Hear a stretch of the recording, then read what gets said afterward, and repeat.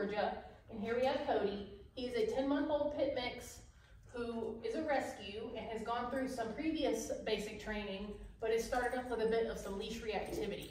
So he is here for our two-week board and train to work on some of that and just to kind of sharpen up some other commands. So we're just gonna run through and see if he remembers anything so far. Kodi. Come.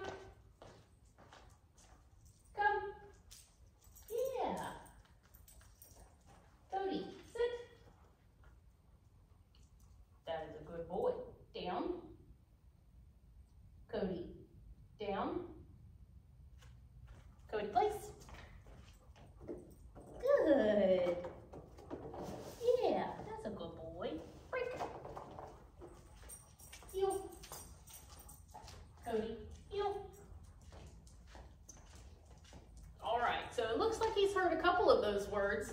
Uh, we're gonna sharpen them up, so keep watching to see how he does over the next two weeks.